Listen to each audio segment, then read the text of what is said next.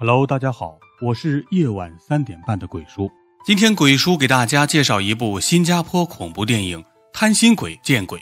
电影开始，小林是一个十足的倒霉鬼，是一个穷光蛋不说，还整日霉运连连。某天在机缘巧合之下，小林意外得到了一本无字天书。本来小林也没当回事儿，却不想这无字天书突然自己翻开来，并且告诉了小林一串数字。随后，天书中的书灵便引诱小林和自己做了交易。第二天，小林就和自己的两个室友来到彩票站，没想到天书给的那串数字真的让小林中了大奖。这对小林这个倒霉蛋来说可是百年难遇的好事。可是这笔钱很快就被小林和他的两个穷光蛋的室友阿发和老灰给挥霍完了。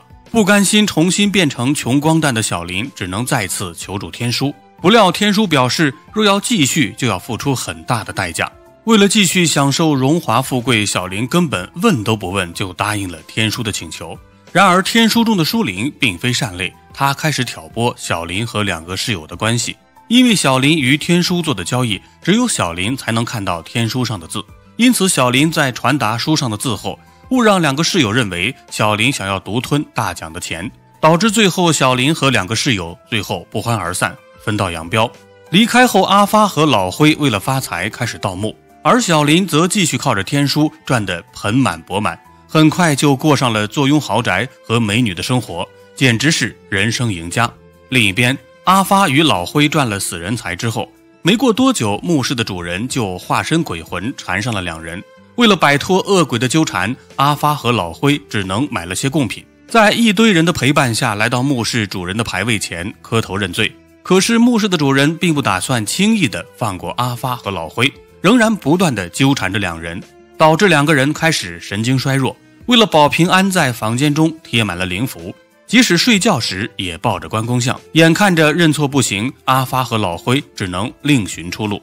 第二天，两个人找了几个江湖道士，准备让他们帮忙驱鬼。可是这个道士嘴上说的好听，实际上根本没有真本事，只会些坑蒙拐骗的把术。因此，最后不但没驱成鬼，还反倒被鬼魂给附身了。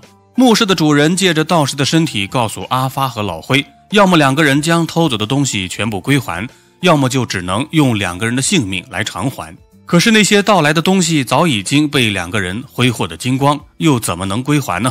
画面一转，小林依循书灵的指示，彻底摆脱了贫穷，却不想正挥霍无度的时候，书灵突然要求小林按照约定付出代价。而且必须付出的代价就是死，只有小林死亡，小林才可以成为无字天书的下一任书灵，也只有这样，现任书灵才能摆脱。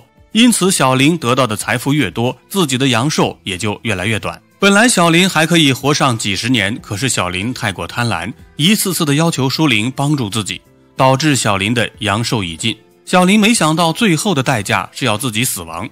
可是自己才刚刚过上了富人的生活，还没有享受几天，小林可不愿意去死。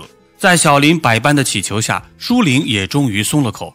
舒玲称，只要小林在一天之内花光所有的钱，他就会放过小林。小林听后觉得这是小事一桩，当天就用拿着一个装满钱的包扔在了大街上，想要让人捡走。不料书包被一个小哥捡走后，小哥拾金不昧的将书包还给了小林。随后，小林来到一家商场，开始从楼上撒钱。结果，商场中的行人没有一个人相信会有天上掉馅饼的好事，都以为是剧组在拍戏用的假钱，纷纷离开了。这下，小林也无计可施了。因为这件事，小林和两个室友也算是同病相怜，于是很快三个人就不计前嫌，重新聚在了一起。这次，阿发和老灰找了一个真正的大师前来做法，他们将盗墓弄来的钱全部烧给了墓室主人。小林也将所有的钱烧了。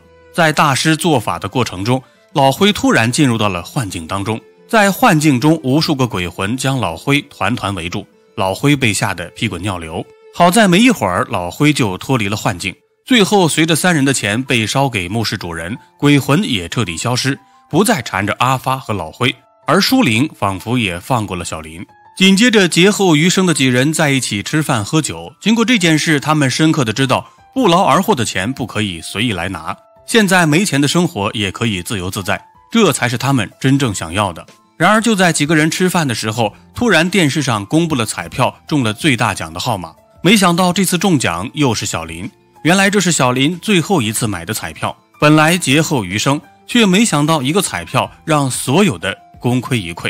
而随着小林再次中奖，小林的寿命也到了尽头，最后小林倒在了地上死了，并且他代替书灵成为了新的书灵，开始引诱其他贪得无厌的人上钩。